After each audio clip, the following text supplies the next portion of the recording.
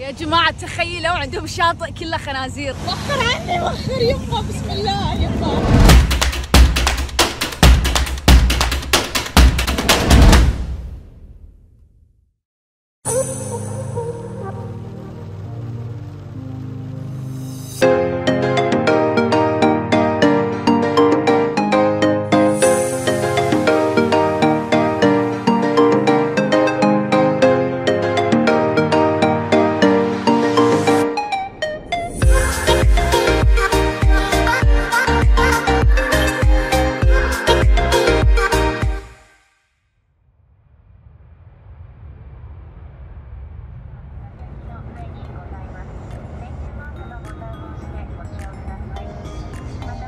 Attention passengers, we've now reached our destination.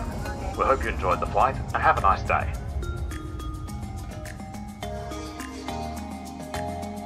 الله شوفوا الغيم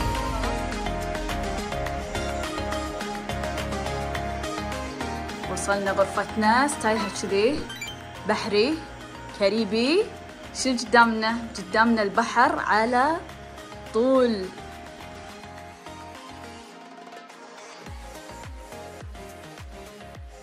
جزر البهامس تتكون من أرخبيل جزر تقريبا 29 جزيرة رئيسية وأكثر من 600 جزيرة من جزر صغيرة منخفضة وطبعا موقعها في المحيط الأطلسي وشمالها كوبا وجمهورية دومينيكان وهايتي وشمال الغربي من جزر أخرى صغيرة وكذلك إلى الجنوب الشرقي تقريبا من أمريكا.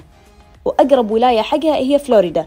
يلا أنا جاهزة وهذا لبس اليوم.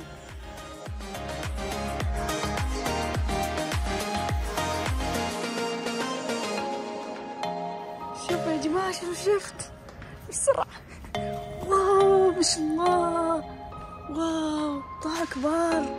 wow عجيب. بتقول إذا حطينا بأذوننا يطلع صوت أمواج أو محيط.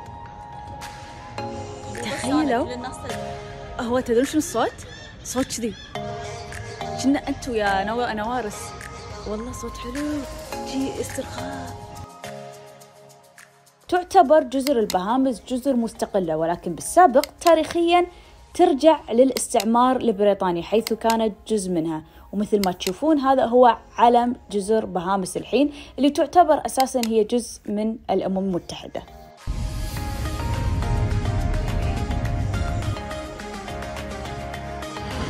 تكفون شو السيارة.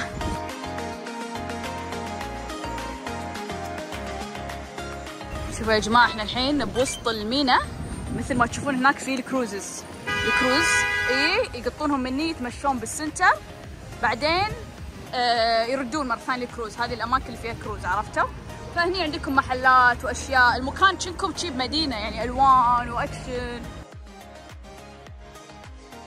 هم عندهم شارع رئيسي ومينا downtown Bay Street كان حلو الصراحة تتمشون فيه. في شي أسواق شعبية وهم في ماركات فخمة. هو حلو تتمشون فيه وصغير وممكن تتقهوون وتنطلقون إلى البحر سواء يكون عندكم مينا أنتوا أو حاجزين قارب خاص. يعني التجربة في الداون تاون كانت بسيطة وحلوة.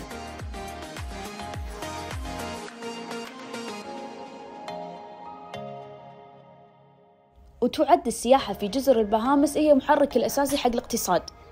لأن تقريبا يزورونها حوالي ثلاث ملايين أربع ملايين زاير كل سنة. ويمارسون الأنشطة المختلفة اللي فيها.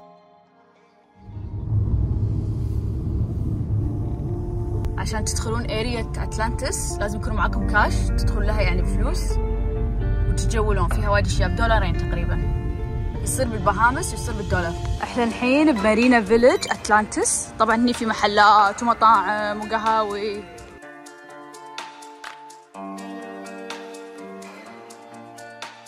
Marina Village و Paradise Island. مكان وايد حلو تتمشون فيه. وشرح كذي في بيوت ملونة. تحسون أصلا طابع ناسو اللي هي العاصمة. طابعها كذي بيوت ملونة. تقعدون مثلا تتمشون. وأحلى شيء تجون حزة الغروب. يعني تكون خلاص خلصتوا سباحة خلصتوا أنشطة. تاكلون تشوفون الغروب. وهاليخوت الحلوة.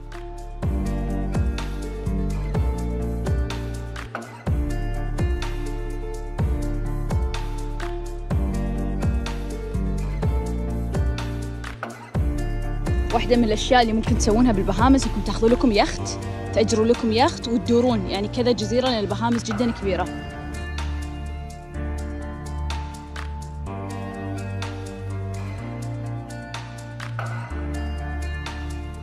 طبعا في مولات وعندهم هم ماركات مثل ما تشوفون. والموضوع وايد ذكرني في فيغاس وايد ال style كازينو على منتجعات كبيرة ومولات.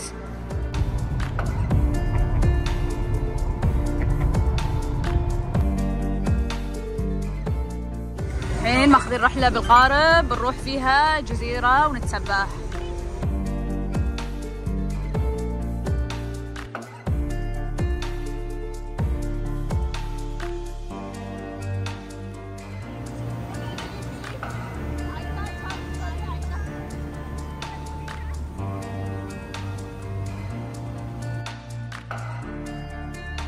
الحين راح أسوي سنوركل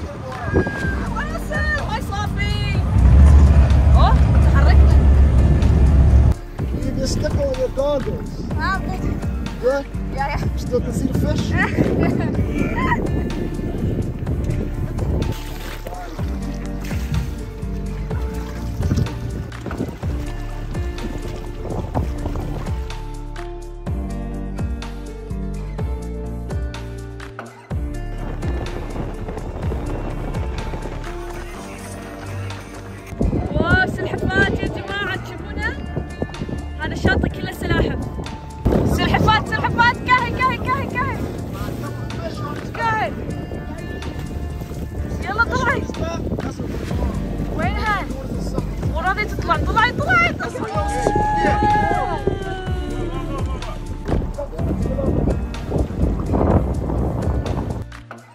رحلة القارب كانت جدا حلوة وموفقة. شفنا فيها السلاحف واستانسنا وتسبحنا وسوينا سنوركل. كانت تجربة جدا حلوة. وحجزنا هذه الرحلة عن طريق تطبيق اسمه فيا تور. ولكن شنو عيب الرحلة وشنو عيب بهامس؟ بشكل عام الأسعار الأسعار جدا مرتفعة. يعني ما فيها والله يعني هي من الدول ترى الغالية الصراحة. يعني أنا كليت برد آيس كريم عادي ثلاث دنانير. لو مكان ثاني دينار بيكون نص. يلا كثرنا دينارين. ولكن عملتهم الخاصة تساوي الدولار الأمريكي.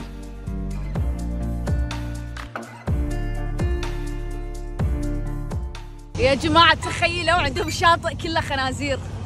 يا جماعة شاطئ كله خنازير. قاعد تشوفون خنازير؟ وخر عني وخر يما بسم الله يما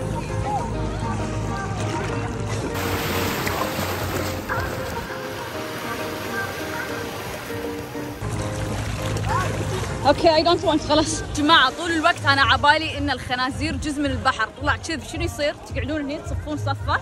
إنزين بعدين فجأة توكلونهم إنزين ويجون فجأة.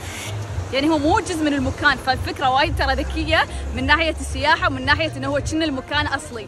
فمثلا لو مثلا في مكان فيه خيول وايد يجيبونهم تعطون أكل خيول ويصير المكان كأنه جزء منه وهو مو جزء منه. والله طريقة ذكية.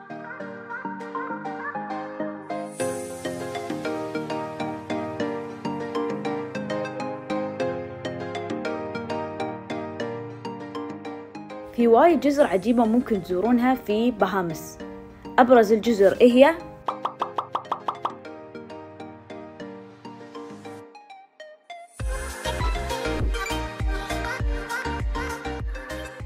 سوق القش. طبعا هذا سوق محلي بسيط يعني أغلب اللي فيه أشياء يدوية مسوين جناط من القش يبيعونها التماثيل يعني سوق بسيط محلي. يعني ممكن تزورونه وأنتم مارين حق المينا.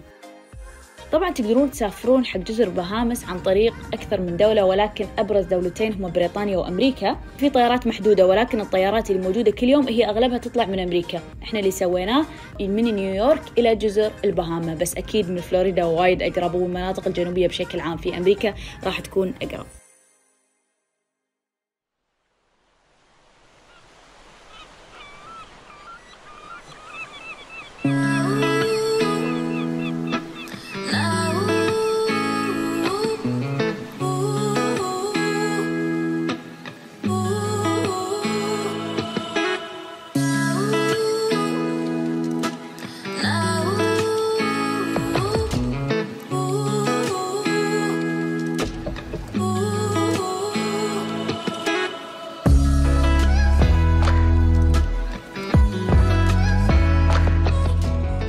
تعرفون شعور لما تتمشون بالسيارة وتقررون فجأة توقفون السيارة؟ بالضبط هذا اللي حصل ويانا. كانت لحظات الغروب في بحر عشوائي. والله أنا كنت قاعد أمشي قاعد أشوف غروب.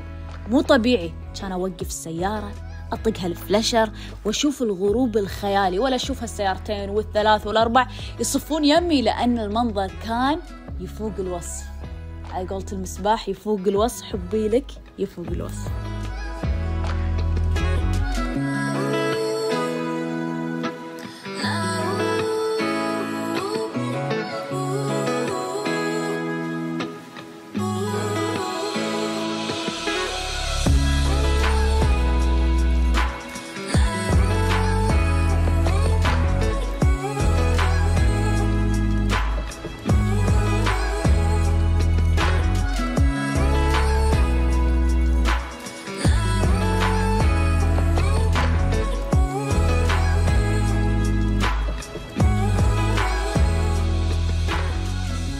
والبهامس فيها وايد ظواهر حلوة وغريبة مثل الشاطئ الوردي هذه الصورة من جوجل هم في شاطئ كله جوانات.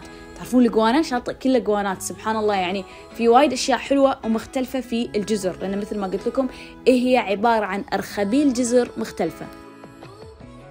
يا جماعة خلصنا رحلتنا للبهامس. أتمنى عجبكم الفيديو تسوون subscribe like comment